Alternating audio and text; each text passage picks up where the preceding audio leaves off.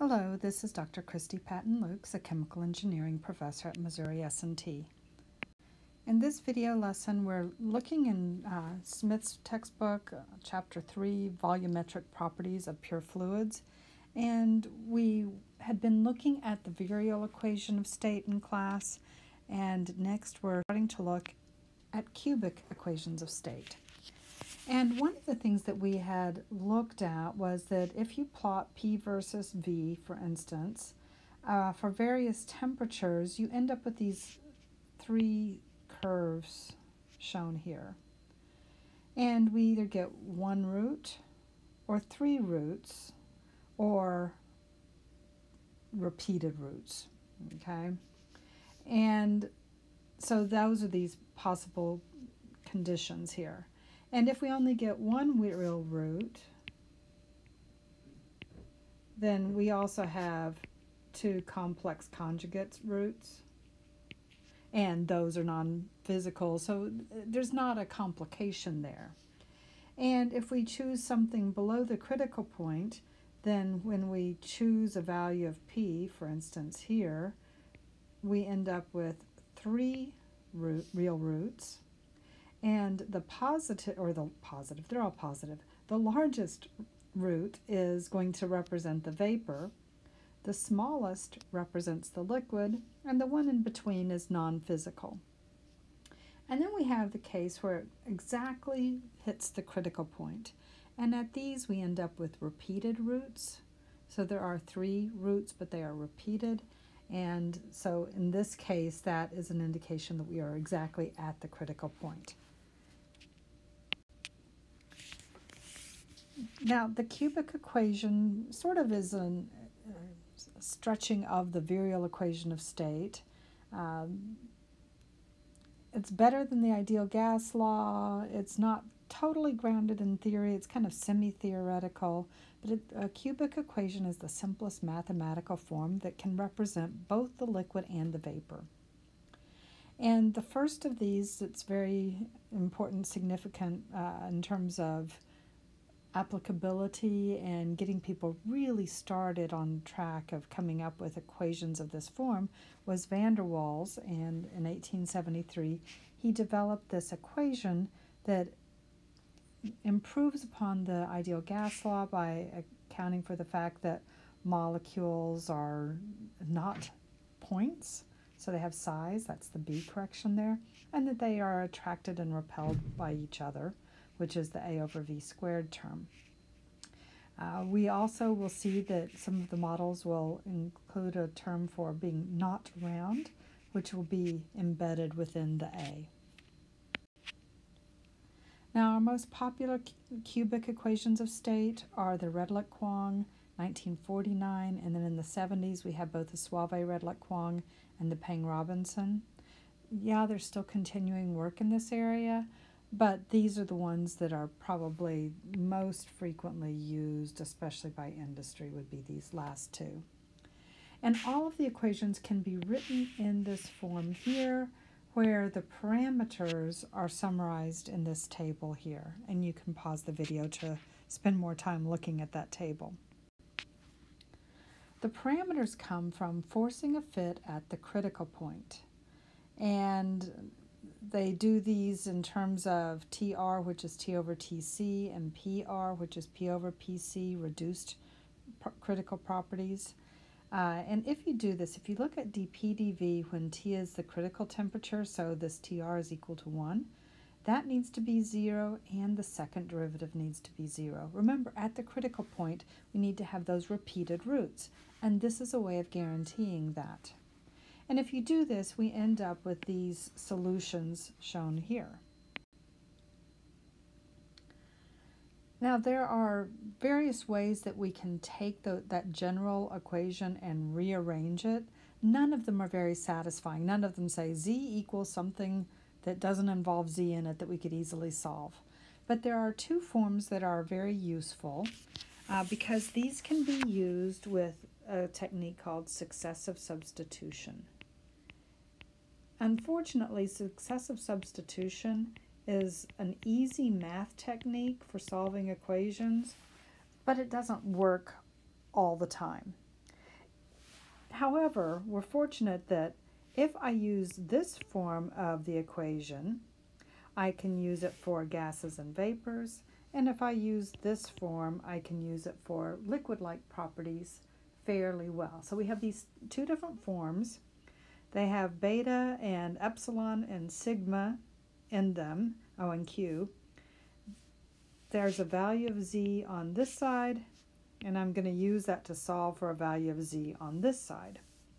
So what's going to happen is we're going to have to come up with a first guess, and we're going to try it successively, hence the name successive substitution. If we look at this more closely, um, what we're going to do is we're going to just start with just a first guess. And if you don't know anything else, sometimes you have a pretty good idea what Z should be. Uh, it's a chemical you work with frequently or whatever. If I don't know anything, if I think it's a vapor, I'm going to start with Z equal to 1.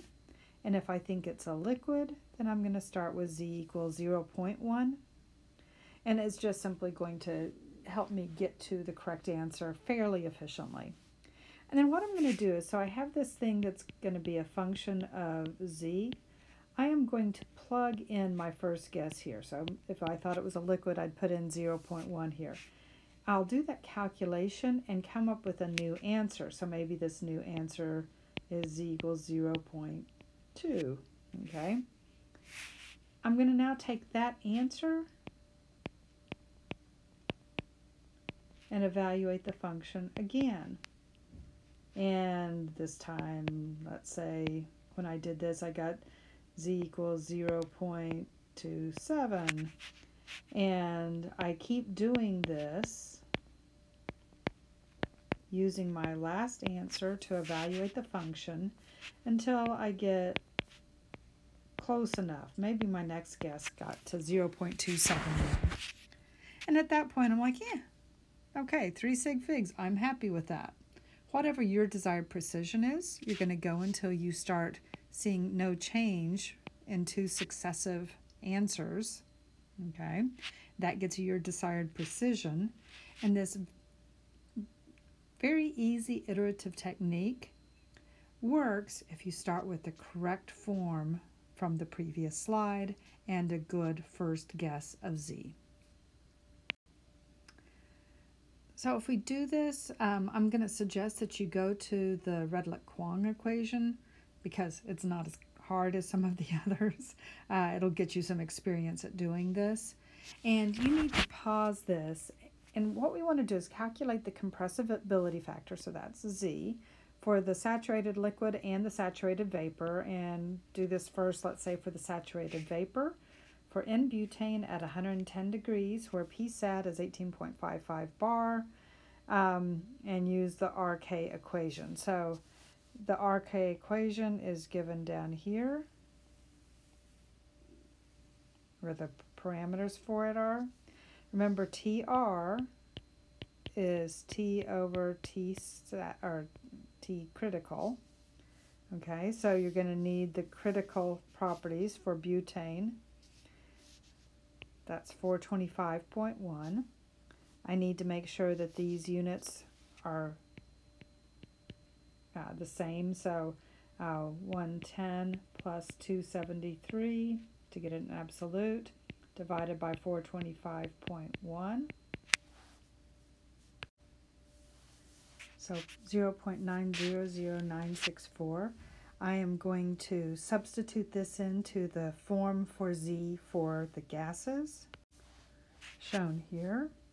Uh, notice that epsilon is equal to 0, so therefore I don't really need that term there.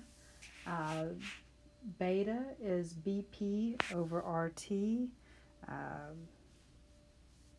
and B is sigma RTC over PC.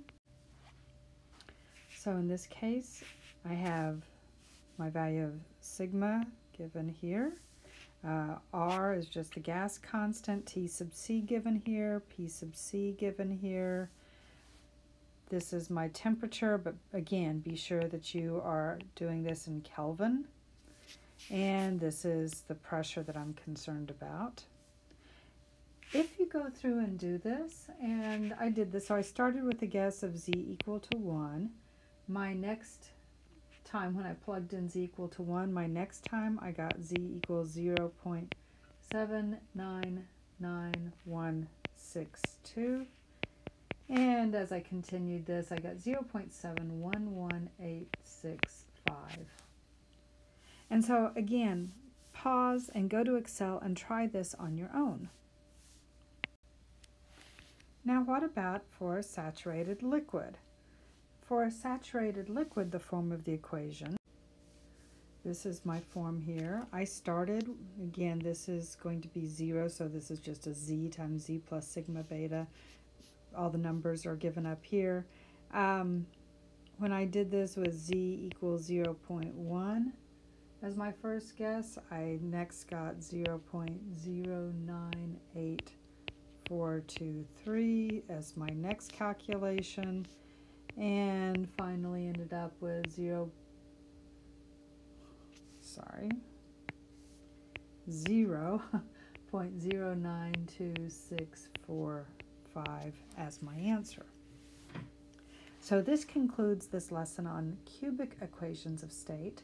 We're going to be looking at uh, generalized equations for gases in our next lesson. Thank you very much.